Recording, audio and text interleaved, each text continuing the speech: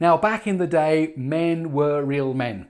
Women were real women. Small furry creatures from Alpha Centauri were real small furry creatures from Alpha Centauri. Linux was real Linux. Windows was real Windows. And never did the two have anything to do with each other until Windows subsystem for Linux. Hello there. My name's Gary Sims. This is Gary Explains. Thanks to Douglas Adams for that opening quote there. So today I want to talk about Windows subsystem for Linux.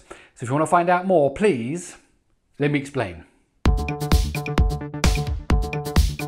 So Windows Subsystem for Linux is an official thing, official feature of Windows provided by Microsoft itself that provides a compatibility environment that allows Linux tools and programs to run inside of Windows. And once you install it, you get access to a terminal window where you can run bash and from there you can run all of the normal things. You would run compilers and you can do editing, copy things around secure shell and access uh, a virtualized, a containerized, compatible kind of Linux uh, environment. Now, I don't want to get at all into the politics. You might think this is a terrible idea or you might think it's a great idea. I want to look at the technology that Microsoft provide. Now, as I said, this is mainly for command line tools. Now, I'll talk at the end about uh, GUI apps. So let's just pick that up at the end. But before we do that, let's just jump straight in and install it and see what it provides. Okay, so here we are on a Windows 10 machine and the first thing you should do is go down to the start bar and find the control panel. I'll do that by starting to type the word control. There comes the control panel. Then go to here to programs and then turn all Windows features on or off. That will bring up a little list of things that are activated here on this Windows feature that are installed and we want to find it here, Windows Subsystem for Linux and we want to tick that and click OK and that will start to install it. And then once the installation has completed, it says we need to reboot the PC, so we'll just quickly reboot this. Okay, and once the PC has restarted, we now need to install a Linux distribution. And the way you do that is you go to the Microsoft Store, and then you can pick a Linux distribution that you want to run. Now, I'm going to opt for uh, Ubuntu. I think if we type in here Linux, we can see some of the different versions that are available here. Here we go. Look at this, Debian and Kali uh, and SUSE uh, Enterprise and so on. So I'm going to go with the uh, Ubuntu 18.04 long-term support version. So that will be uh, handy because we know it's supported for a long time, five years from 2018. So just click install on that. Microsoft asked me if I want to sign in with my account. I do not at this point. And so it's going to start downloading that now. And then that will install in a moment. Okay, now that's installed, we can launch it. I'm not going to launch it from here because I want to show you how you launch it from the start menu. You can go down here and it is up there of course. Or we can start typing uh, and it finds it like that. So let's launch it and up will come a window. And this window says there's a little bit more of installation that requires to happen just before uh, it can actually work fully. This only happens one time the very first time you install it. So we'll let it finish doing its work there. Okay, and one of the things it needs to do is to create a, an account for us. So I'm going to type in a username and password here for myself. Okay, and that's it. Now here we are on a uh, Linux command shell, actually in bash, I think. So you can do normal things, you know, ls, there's no files in there to show. We can run top, for example, to see uh, the processes that are running. Now, most things, um, you know, pwd shows us where we are. Now, most uh, things that you might need are probably not installed in this. It's quite a minimal system. So even a C compiler, GCC, uh, is not there. It will say it won't be able to find that. Uh, you know, things like even like Python are not even uh, installed. Okay, so what I'm going to do now is I'm just going to install uh, the command line uh, GCC compiler, C compiler, and we're going to write a quick C program and run it. And then what we're going to do is we're going to see how compatible that binary is with other Linux systems. So first of all, we do a, um, a sudo uh, apt-get uh, update to make sure all of the uh, links to the repositories are up to date. We'll just let that run for a moment. Okay, and then we're gonna run uh, apt get install GCC. So we'll just let that run. Yes, we'd like to install it all please. And this will take a few minutes to just download that stuff.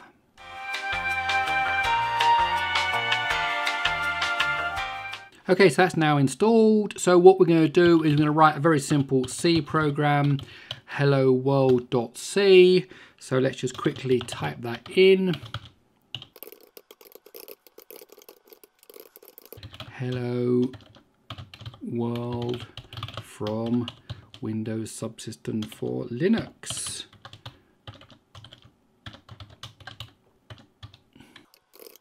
Okay, let's uh, save out that. Let's see if it compiles. GCC hello world.c. Yes, it does. So now we have a file called a.out, which as we can see is a 64-bit Linux file. Okay, and we can now just run that, a.out, and there we go, hello world from WSL. Now, I have another server on my network, which uh, is a Linux, a standard Linux server, nothing funny about it at all.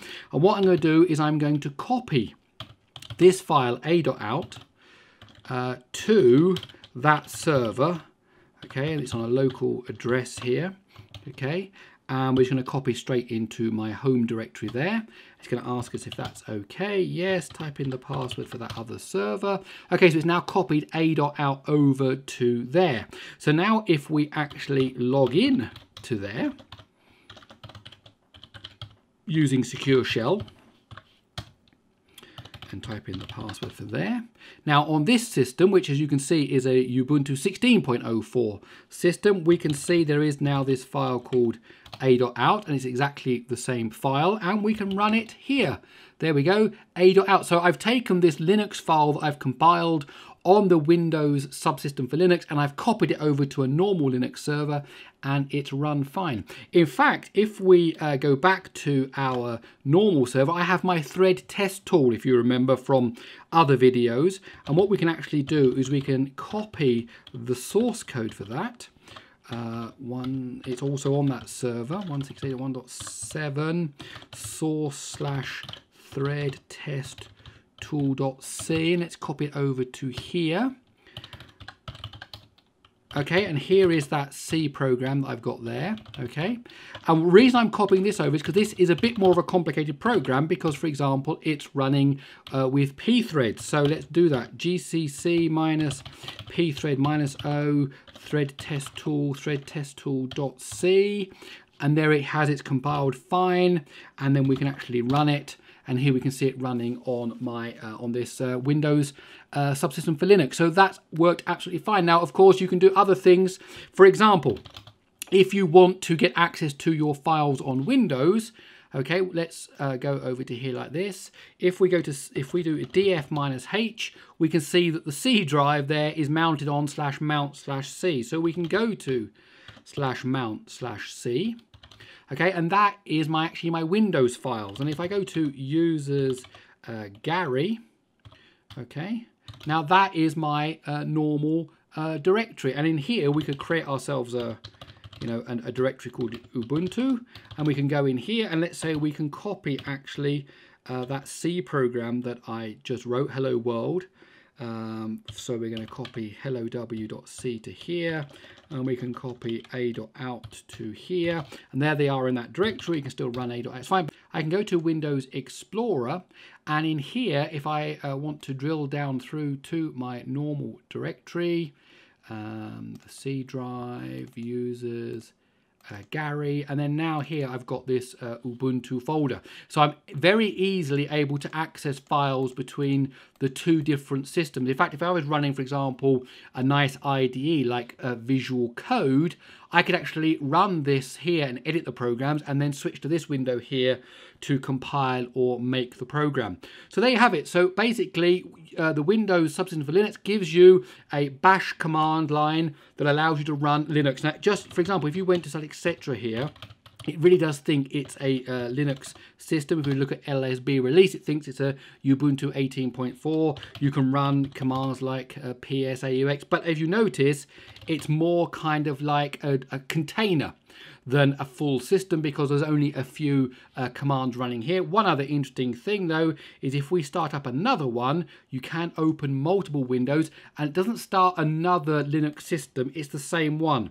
So if we run uh, uh, top in this one to see the difference, you can actually see there are two bashes running in here now, and there's htop and there's top. So one's running in here and one's running in here. So you, multiple windows give you access to the same subsystem. It doesn't give you multiple copies of Linux running.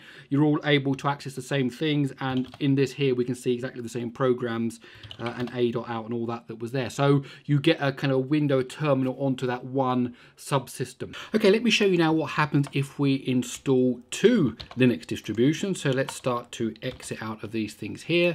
So we go back to the Microsoft Store.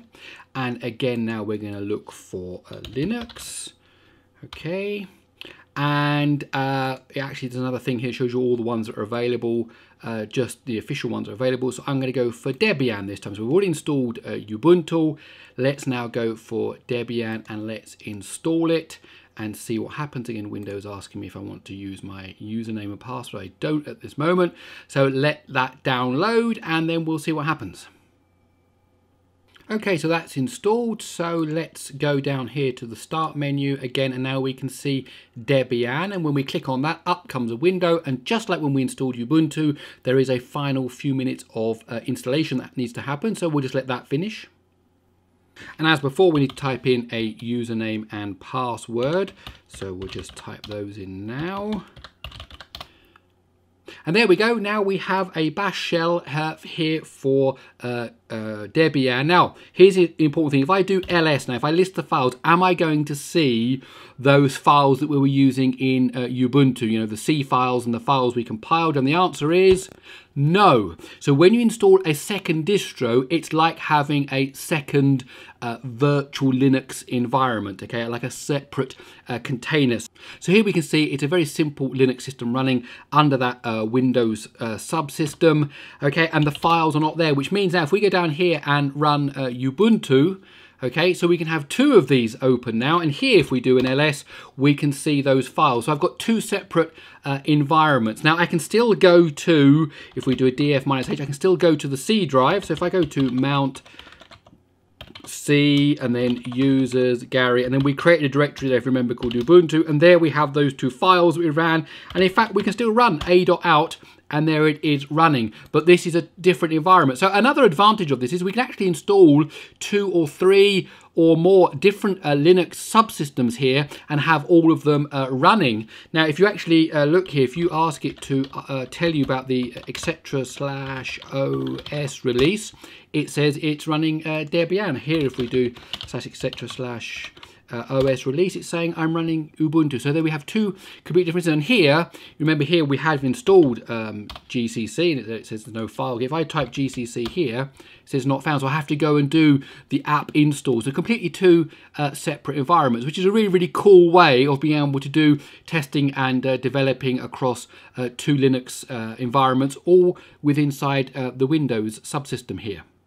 Okay, so I said I would mention GUI apps. So as you saw, this is primarily a way of running command line tools. Now there is a way of running uh, GUI apps, and you, to do that, you need an X server actually running on your Windows desktop. Now, if you'll be interested in the video about how to get an X server running and how to connect to, let's say, a Raspberry Pi and have it bring back the interface onto your Windows PC, and the same with Windows uh, subsystem for Linux, then let me know in the comments below and I'll make a video about that. Also, there is now a second version of Windows Subsystem for Linux, really cleverly named WSL2 because it's the second version, and that actually provides a much more virtualized environment, including an actual bona fide Linux kernel. Now, at the moment, you can find that uh, in the insider versions of Windows at the time I'm making this video, but it's available if you're subscribed to that program where we can actually have a look at what that's going to do. So again, if you'd like a video about WSL2, please let me know in the comments below and I'll go ahead and make that. Other than that, my name is Gary Sims. This is Gary Explains. I really hope you enjoyed this video. Please do give it a thumbs up. Don't forget to subscribe. Don't forget the new Speed Test G channel. And, uh, well, I suppose that's it. I'll see you in the next one. Small furry creatures from Alpha Centauri were small. Insider. Ah. Oh. Ah. Oh.